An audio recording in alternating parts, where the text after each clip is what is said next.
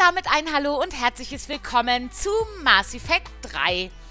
Ich bin auf der Zitadelle und war hier gerade im Krankenhaus und habe Ashley besucht. Ach so, ne, und laufe auch wieder in die falsche Richtung zurück, ne, weil wer hat, der kann. Und willkommen im absoluten Chaos und der Orientierungslosigkeit. Ich gehe jetzt in den Fahrstuhl da vorne und möchte mich jetzt hier einfach noch ein bisschen auf der Zitadelle umschauen. Und zum Rat muss ich natürlich auch noch, ich wollte nur erst Ashley besucht haben. Willkommen, Commander Shepard. Wählen Sie bitte ein Ziel aus. Ja, ich, äh, groß kann ich ja gar nicht was Einen Moment. auswählen. Ne? Dann gehe ich jetzt mal zu den Botschaften, weil zur Andockbucht will ich ja nicht. Obwohl das natürlich schon angenehm ist, dass man jetzt vom Fahrstuhl aus direkt hin kann. Das ist so für... Ankunft bei den Präsidiumsbotschaften. Ja, prima. Ah, prima. Guck mal, hier kann ich dann nämlich auch gleich nochmal mit Avina reden. Hallo, Commander Shepard. Willkommen bei den Citadel-Botschaften. Der aktuelle Menschenbotschafter ist Dominik Osoba. Commander Bailey ist der diensthabende Offizier. Sie finden ihn im Bezirksbüro der Citadel-Sicherheit. Ach ja, ja, mhm. ich ähm, frage mal nach den örtlichen Besonderheiten.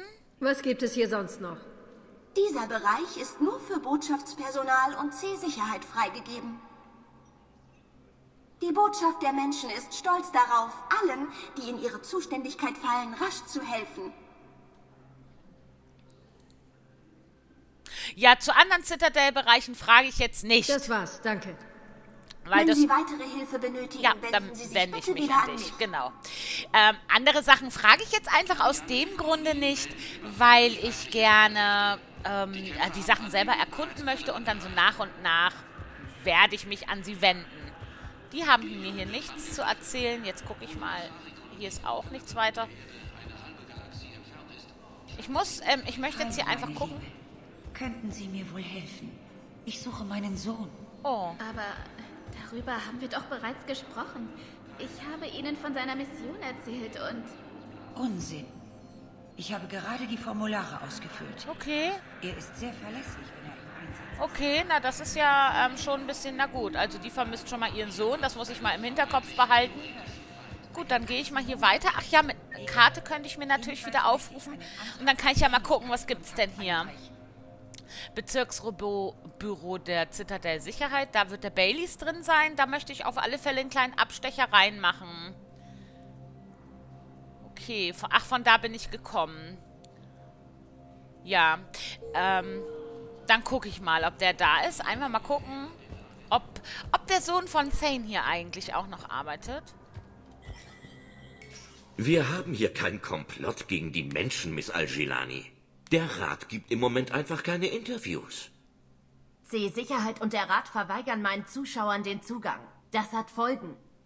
Ich habe auch keine Lust, zwischen Paparazzi und Politikern den Torwächter zu spielen, Lady. Ich bin nicht deren Babysitter und ich halte nicht ihr Händchen. Ich werde da draußen zelten, bis ich vorgelassen werde. Schön. Haben Sie einen Schlafsack dabei? Huhu. Das ist doch die, die ich schon mal Commander umgehauen Shepard. habe, ne? Commander, die Menschheit hat Fragen. Ja, ja, die Menschheit hat Fragen, was ist denn hier los mit der Presse? Scheiß Presse. Ja, vielen Dank. Sie wahren also den Frieden. Ja, ich fühle mich wie ein besserer Türsteher. Für die meisten wäre das ein Aufstieg. Eingepfercht mit all diesen Stockfischen? Ich wäre lieber wieder auf der Straße. Mehr Geld ist ja gut und schön, aber Politik liegt mir nun mal nicht. Ja, äh, warum ähm, haben Sie den Job denn dann überhaupt angenommen? Was ist los? Wenn das so ist, warum haben Sie dann angenommen? Man weist Ratsherr Udina nicht zurück, Sie vielleicht, aber ich muss hier leben. Ja, ist Ich weiß, ja. Frechheit siegt, aber ich habe mich überhaupt nicht um eine Beförderung bemüht. Keine Ahnung, warum er mich wollte. Und Politiker sind mir sowieso suspekt. Ja, das glaube ich. Politiker sind das Unkraut der Galaxie. Als Aufkleber käme der Spruch sofort auf meinen Schreibtisch. Ah, Das mit der Erde ist furchtbar. Finde ich auch. Ich war ewig nicht dort. Vielleicht war's das. Wenn das nicht das Ende ist, sind wir zumindest nah dran. Ja, nicht unbedingt, Mensch. Mir steht der Ärger bis zum Hals, aber wenn Sie was brauchen, helfe ich so gut ich kann. Dann frage ich doch mal zum Krieg insgesamt. Macht sich die Citadel kampfbereit? Ah, Es herrscht ein Gefühl falscher Sicherheit. Selbst Leute von gefallenen Planeten tun so, als sei alles gut. Nicht nur die Menschen. Alle belügen sich, um mit dem Schrecken fertig zu werden. Dann natürlich, ob es irgendwelche Probleme hier gibt. Ich dachte, es sei hier ziemlich ruhig. Verglichen mit dem, wo Sie herkommen, schon. Aber der Krieg ist überall zu spüren. Millionen haben ihr Zuhause verloren. Und die meisten kommen hierher. Da haben Sie sicher viel zu tun. Die meisten meiner Männer arbeiten bereits beim Zoll. Aber es kommen zu viele, um sie alle durchzuschleusen. Passiert hier irgendetwas Wichtiges? Machen Sie Witze? Die Reaper unterdrücken die gesamte Galaxie. Da tagt der Rat praktisch rund um die Uhr. So viele Botschafter und Abgesandte haben hier noch nie ihre Anliegen vorgebracht. Ja, aber das ist nur die Spitze des Eisbergs. Okay. Haben Sie Familie da draußen? Irgendwo eine Ex-Frau. Und unseren Sohn, er... Er ist noch auf der Erde. Oh nein. Tut mir leid, Bailey. Ich mach's wie alle. Ich flüchte mich in das, was ich kontrollieren kann. Im Moment halte ich hier die Illusion von Sicherheit aufrecht. Das ist bestimmt der Bengel gewesen, den ich da im Schacht gelassen hab, ne? Oh Gott, nein, ey, scheiße. Udina hat Sie zum Commander gemacht, oder? Ja, und inzwischen ist er eine noch größere Nummer, mit sehr viel Ehrgeiz. Er hat Executor Pellin der Verschwörung verdächtigt und mich ermitteln lassen. Was Belastendes gefunden? Genug, um ihn zu verhaften. Pellin leistete Widerstand, ich erschoss ihn und wurde dafür von Udina befördert. Soweit ich das beurteilen kann, löscht ein Commander lediglich andere Brandherde. Na, bravo. Es wird sicher noch schlimmer, bevor es besser wird. Falls es jemals besser wird. Ja, ich bin guter Dinge, irgendwann wird's immer besser. So ist das. Ist der Lauf der Dinge, ne? Aber manchmal steht man halt dann doch da und fragt, wieso wird's denn noch schlechter und noch schlechter? Jetzt könnte es aber mal langsam besser werden. Von wo bin ich denn gekommen? Ja. Da kann ich nicht rein. Ah, da ist, ähm, Udina. Commander, Ratsherr Udina sagte schon, dass Sie kommen. Wenn Sie mir bitte folgen würden. Der Rat tagt bereits. Die Reaper sind auch in unserem Sektor. Die Erde ist nicht mehr oder weniger wichtig als jede andere Welt des Rats. Aber die Erde war der erste überfallene Ratsplanet und trägt die Hauptlast des Angriffs. Woher wollen Sie das wissen? Die Reaper eröffnen ständig überall neue Fronten. Die Berichte stimmen. Die Erde wurde angegriffen. Es ist eine Invasion. Und das ist erst der Anfang. Wir brauchen Ihre Hilfe. Alles, was geht. Die Erde mag leiden, aber unsere Welten fallen auch. Die Turianer haben Tetros verloren. Wir müssen gemeinsam kämpfen. Muss ich daran erinnern, dass Shepard den Rat beim letzten Reaper-Kampf für die Interessen der Menschen geopfert hat? Stimmt, aber am Ende haben wir überlebt, weil wir Shepard gefolgt sind. Und wenn das dieses Mal nicht ausreicht? Die Berichte sind schlimm. Wenn wir die Reaper auf der Erde angreifen und verlieren, was dann? Ich erwarte nicht, dass Sie mir ohne einen Plan folgen.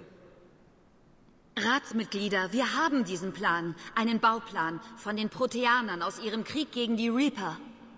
Proteanisch? Was ist das genau? Wir analysieren ihn noch. Aber es scheint eine Art Waffe zu sein. Und damit lassen sich die Reaper vernichten? Es sieht so aus. Er ist gewaltig und komplex. Sinnlos. Die Proteaner wurden von den Reapern ausgelöscht, ganz klar. Die Waffe taugt nichts. Sie war nicht fertig. Eine Komponente fehlte. Hier. Etwas, das nur als Katalysator bezeichnet wird. Sie hatten einfach nicht genug Zeit, um den Bau zu vollenden. Glauben Sie daran, Shepard? Nach allem, was Sie von den Reapern gesehen haben? Es ist jedenfalls besser, als herumstehen und diskutieren. Und trotz meiner Probleme mit Udina muss ich ihm recht geben.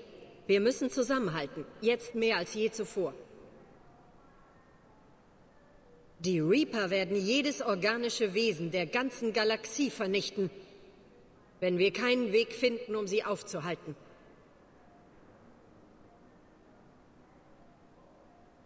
Der Rat kann der Erde keine militärische Unterstützung geben. Unsere eigenen Planeten gehen vor. Die Salarianische Union hält einen Gipfel unserer Spezies ab. Sind unsere Grenzen gesichert, können wir ihnen auch helfen. Unsere Flotte ist ebenfalls beschäftigt.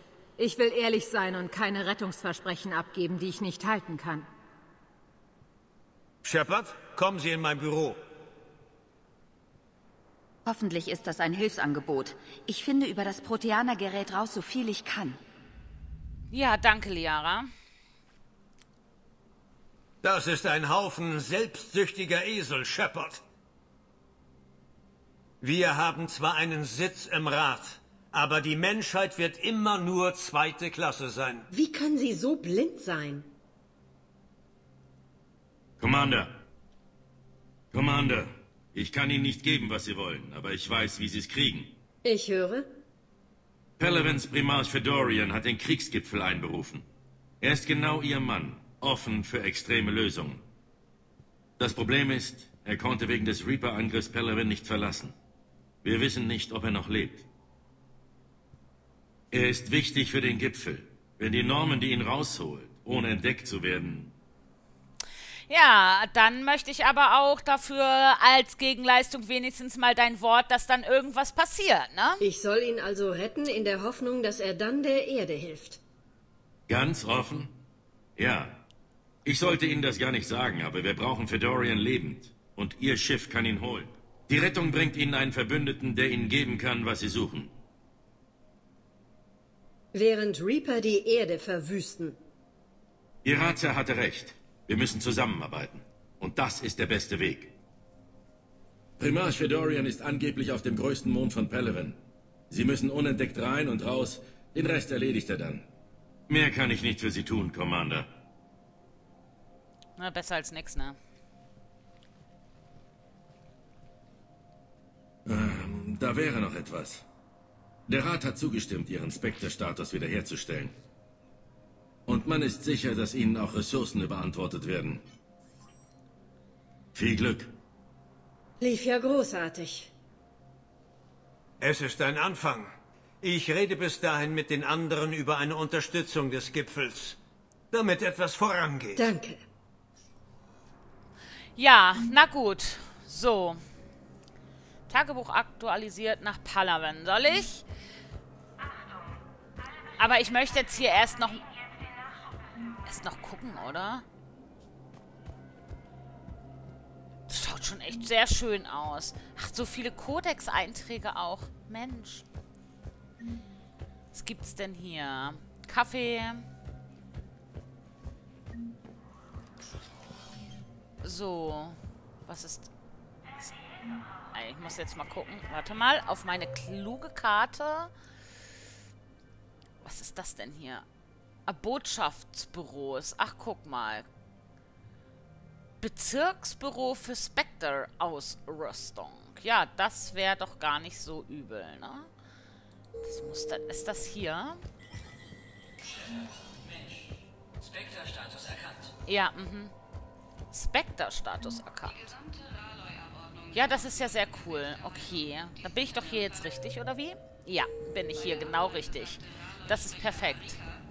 Wir wollen niemanden bekämpfen, der uns nichts getan hat. Und wir könnten es auch gar nicht. Die Ralle So, dann zeig ich mal. Willkommen! Willkommen im Spectre Informationsverarbeitungszentrum. Dieses Terminal bietet sicheren Zugriff auf Informationen und Unterstützung bei der Autorisierung von geheimen Operationen oder Requirierungen. Die Benutzung ist nur Agenten gestattet, die derzeit bei Special Tactics and Res Resonance im aktiven Dienst stehen. Für alle Vorgänge, die eine Bezahlung erfordern, verwenden Sie bitte nebenstehendes Terminal, das finanzielle Transaktionen sicher und nicht zurückverfolgbar durchführt. Informationen über die Quarianische Flotte. Die quarianische Pilgerin Yen Volan ähm, Nanema auf der Zitadelle erhielt eine größere Geldanweisung von der Fla Flotte. Yen Wolan kaufte dafür Tech bei mehreren Schiffsbedarfshändlern, darunter Gestelle für Hochleistungswaffen und Ermitter für kinetische Barrieren. Auf Ilium hat sich ein anderer nicht identifizierter quarianischer Pilger nach einer Schiffspassage in der Nähe des Persusnebels erkundigt. Später soll er gesagt haben, seine Pilgerreise sei abgebrochen worden. Die Daten legen den Schluss nahe, dass die quarianische Flotte ihre Pilger einberuft und Schiffe für einen Kampf irgendwo in der Nähe des Perseus-Nebels aufrüstet. Das könnte eine Reaktion auf die Reaper-Invasion sein, aber es liegt weder ein Angebot noch eine Anfrage bezüglich Unterstützung vor. Die Informationen deuten darauf hin, dass die Quarianer sich viel mehr auf einen Konflikt mit den Guests vorbereiten. Ach, gehen die jetzt da doch in den Krieg? Mhm. Okay. So, da. Was gibt's denn hier? Kann ich mir eh noch nichts leisten, alles klar. Naja, gut. So, was ist hier dann noch? Nichts vermutlich groß, oder? Schießanlage betreten. Ach nö. Das brauche ich nicht. Ich, ähm... Ich muss nicht schießen. So, jetzt habe ich nur noch, dass ich dahin fliegen muss, aber ich würde eigentlich gerne... Ich gucke mich hier jetzt noch ein bisschen... Ach, hier ist gar nichts weiter. Schau mal. Na gut, das ist ja deprimierend. Ja, ich guck mal. Logbuch wahrscheinlich, ne? Da, ja. Ja. Den muss ich jetzt halt abholen. Na gut, dann... Entschuldigt. Entschuldigen Sie mich bitte. Dann husche ich mal Richtung Fahrstuhl, so ich ihn denn finde. Ich hoffe es auf jeden Fall sehr. Das ist schon cool. Aktuellen Informationen zufolge wurde die gesamte batarianische Hegemonie von einer unbekannten Macht vernichtet. Ha. Unbekannte Commander Macht Shepard. nicht gut. Ja? Commander, die Leute von der Allianz haben Fragen. Ah, wenn ich mit der rede, ich hau die nur wieder um, ey. Commander Shepard, Kalisa bin Sinan al-Jilani. Ist es wahr, dass Sie beim Angriff der Reaper auf der Erde waren? Warum sind Sie geflohen, während Millionen auf der Erde sterben? Ist das alles, was wir von der Allianz... Ich habe genug von Ihrem Schmierenjournalismus. Diesmal nicht, Sie Mil... Oh Gott, die Arme. Sie sind wütend, wie ich sehe. Aber ich bin hier, um der Erde zu helfen, nicht um Ihre Fragen zu beantworten. Lassen Sie's. Ich hätte einfach weitergehen sollen. Ähm, so, genau das ist der Grund, ja, warum ich hier ähm, ungern mit der Presse zu tun habe. Ach, da kann ich gar nichts mehr machen jetzt. Hier, guck mal. So, hier gibt's nichts weiter, oder? Obwohl, wie gesagt, also ich denke schon, dass ich mit der anderen Pressetussi, weißt du, also wenn die nicht so doof ist, dann wäre vielleicht was bei rausgekommen, aber... Okay, Botschaft der Menschen, ja, prima. Hi, James. Hey, Commander. Liara sagt, der Rat sei nicht daran interessiert, uns zu helfen. Sowas in der Art. Warum sollten sie auch? Sehen Sie sich um. Hier gibt es keinen Krieg. Die Leute flüstern darüber, reden darüber, aber sie glauben es nicht wirklich. Ich nehme an, Sie sind zum ersten Mal hier, bei der Elite der Galaxie. Ich war schon auf der Citadel, aber noch nie hier oben auf dem Präsidium.